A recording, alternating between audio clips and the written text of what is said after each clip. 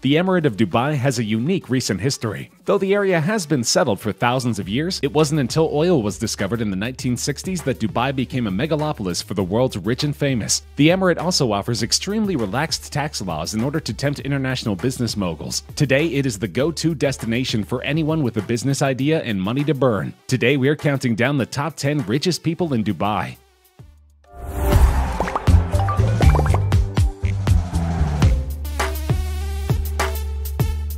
Saif Al Ghurair is an Emirati businessman holding the 10th largest fortune of any Dubai resident. The 96 year old man has spent his entire lifetime amassing a huge business empire and a personal net worth of $1.9 billion.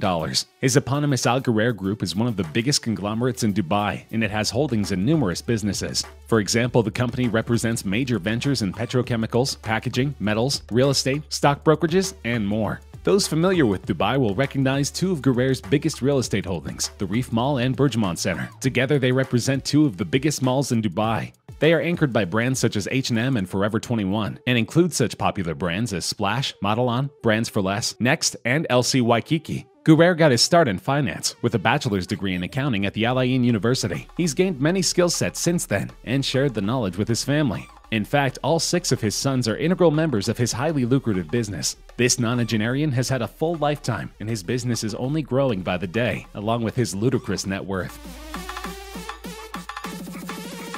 Hussein Sajwani is a real estate mogul with numerous holdings all over the Middle East and elsewhere. He is the chairman of Dubai-based luxury real estate developer Damac Properties, which he founded in 2002. And for Sajwani, business was in his blood. Both his parents were successful entrepreneurs. His father was a trader with a shop at the local souk, selling watches, Parker pens, shirts, and goods imported from China. Sajwani obtained a government scholarship and attended a medical college in Baghdad. After his first year, he left for the US and attended the University of Washington, where he studied industrial engineering. Sajwani's first job was as a financier for Abu Dhabi Gas Industries. From there, he started a catering business that worked exclusively with wealthy clients. This is where he learned that Dubai was an up-and-coming destination, with money to be made for the newly rich. He now owns a real estate conglomerate with unbelievably lavish offerings in London, Dubai, and Paris, among others. These include a golf course designed by Tiger Woods and managed by the Trump Organization, luxury apartments with interiors by Italian fashion houses Versace and Fendi, luxury villas styled by Bugatti, and the Versace branded Aykon London One Tower. In order to sell these outrageous properties, Sajwani has been known to offer unreal perks, like a free Lamborghini with every purchase. At one point, Sajwani's wealth was over 4 billion, but it has since sank to a respectable $2.1 billion, making him the ninth richest person in Dubai.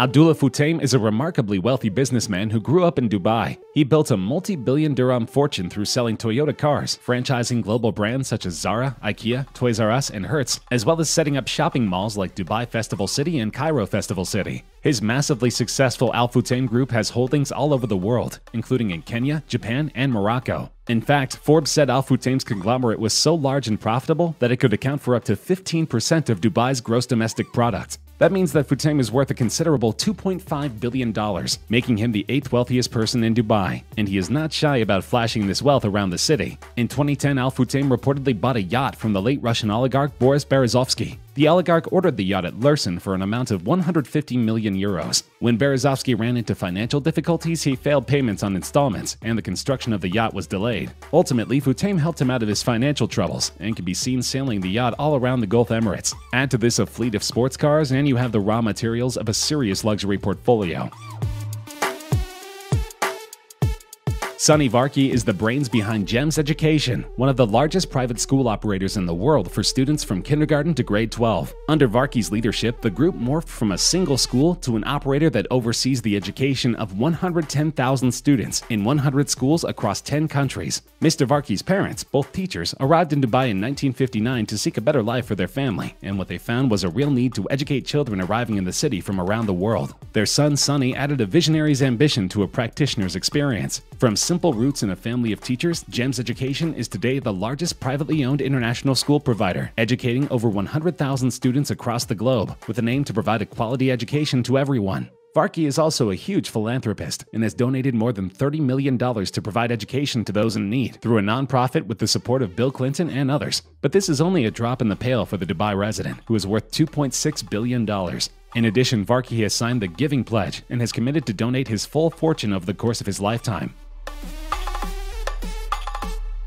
Dr. Bavaguthu Raghuram Shetty set foot in the sands of UAE for the first time back in 1973 in underdeveloped Abu Dhabi. This was the beginning of the journey to care for more than a million patients and a never ending commitment to bring healthy habits to the region. It all began with a few dirhams in his pocket, a degree in clinical pharmacy, and an insatiable hope and ambition. The Indian born businessman started the company Neo Pharma when he was a young man, but this was only the first of his many ventures. He then founded UAE Exchange with the intention of finding a way for Emirates citizens to send money back to their respective home countries. These are enormously profitable, but his biggest asset is London listed NMC Health, one of the UAE's largest hospital chains. With numerous investments all around the world, BR Shetty is worth $2.6 billion, and his fortune is growing every year, and he doesn't spend his caste wealth on himself. He supports a number of medical facilities around the world, including the Special Care Center in Abu Dhabi and the Cancer Foundation run by Pakistan Prime Minister Imran Khan, among others.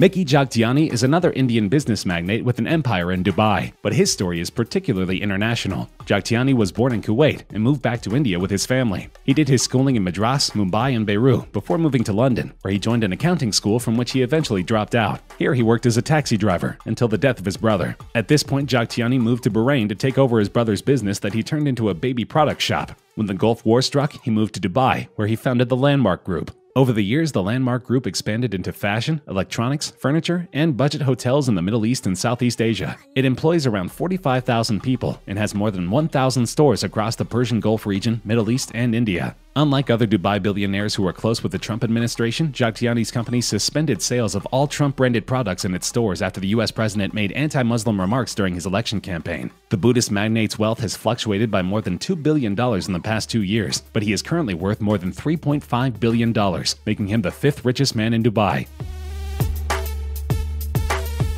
Continuing the prolific trend of Indian men who moved to Dubai in search of greater opportunity, Ravi Pillai had a string of failed businesses in India and Saudi Arabia before he finally took the plunge to the wealthy Arab Emirate. Pillai received an MBA in his hometown in India, and though he failed many times, this knowledge served him well as he launched RP Group, a major Emirati conglomerate and one of the biggest employers in the Middle East, with over 70,000 employees. Pillai has expanded his business to other countries, including United Arab Emirates, Qatar, and Bahrain, and has interests in construction, hospitality, hospitality, steel, cement, and oil and gas industries. This business offers Pillai a one way ticket to a luxurious lifestyle. He has homes all over the world, including a penthouse in Trump Tower in Pune City. He spent an absolutely unbelievable $7.5 million on his daughter's wedding. The wedding was organized by the production designer who worked on the film Bahubali. This makes it one of the most expensive weddings in history. But the cost of the wedding was negligible to Pillai, who has a net worth of over $4.3 billion.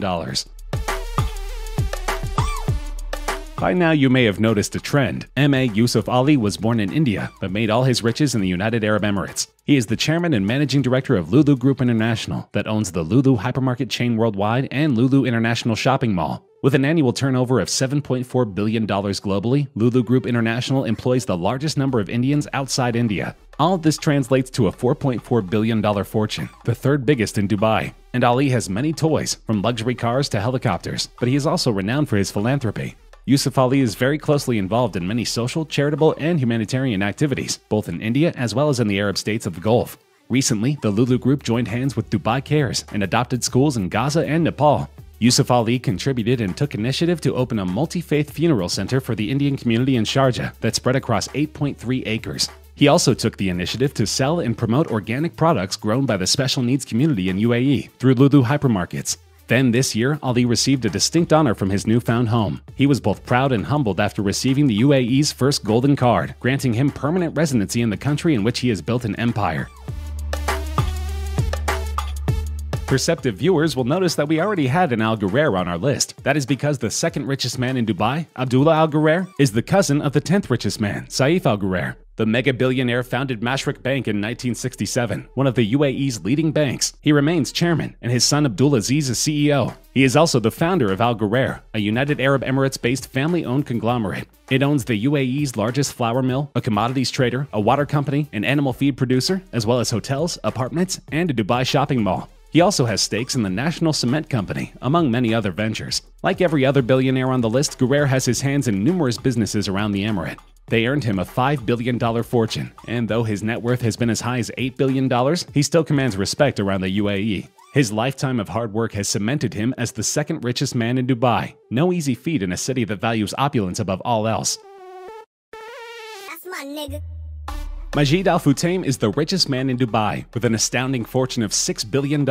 His eponymous business, usually shortened to MAF, has $10.6 billion in annual revenues and is making more every single year. MAF owns and operates 12 hotels and 22 malls, including Mall of the Emirates in Dubai and Mall of Egypt in Cairo. As of 2015, the holding company worked in 13 countries, including UAE, Lebanon, Egypt, Saudi Arabia, Oman, Bahrain, Kuwait, Qatar, Jordan, Pakistan, Iraq, Armenia, and Georgia. Unlike some of his Emirati rivals, Futtaim focuses on entertainment, such as cinemas and concerts. This diversification helped boost his portfolio to new heights. He also has a stake in the fashion world, with exclusive licensing rights for fashion brands such as Abercrombie & Fitch, All Saints, Lululemon, and Athletica. He also owns a monster $250 million mega yacht. The ship is 139 meters long and can accommodate 16 guests in 8 staterooms. The yacht has a crew of 29 and plenty of room for Al to entertain guests for weeks on end.